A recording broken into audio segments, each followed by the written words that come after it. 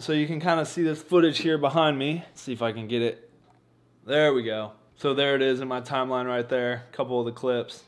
What's up guys, Jakob Owens here for the Buff Nerds and today this is a special video because I have something cool for you guys. It's kind of like a little gift but also uh, just something to help improve your uh, filmmaking abilities. If you're not used to working with red footage, today I'm giving you the opportunity to download some raw 5K or 6K red clips from a Kyle music video that I directed uh, a couple years ago. So basically, I had the idea of allowing you guys to download some raw red files so that if you don't have experience working with you know raw red files uh, from a red camera that you can kind of get some experience with the files adjusting all the raw metadata in your post-production editing software as well as coloring it uh, maybe just trying out a few edits on it and so it's just kind of the idea kind of came to me to give you guys the opportunity to download. I put in there three clips. So there, there are three clips from the really, really yeah video that I directed for Kyle.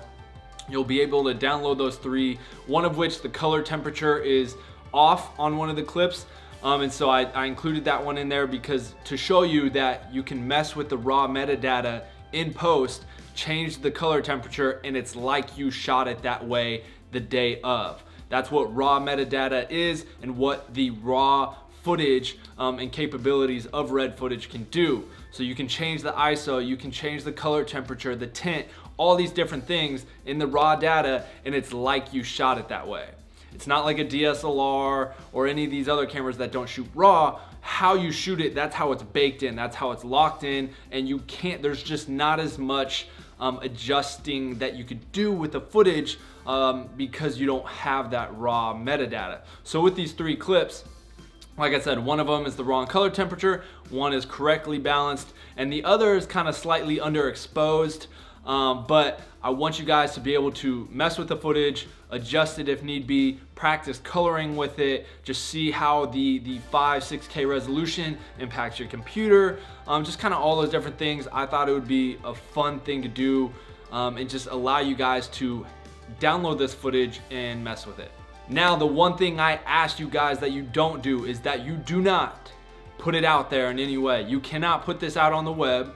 You cannot create your own music video and put it out there. This is for you to strictly just practice your own stuff on.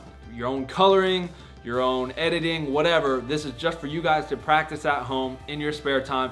You cannot put this footage out anywhere, um, otherwise there will be some ramifications. So that's all this video really is about. Um, if you want to check out the music video, the music video is Kyle Really Really Yeah. I directed it, edited it, colored it um, and that I will link in the description below along with the download link. It is a WeTransfer link with the password RAW, lowercase R-A-W, RAW. So you click that download link in there, put in the password, and you'll be able to download those three clips. So that's it for this video.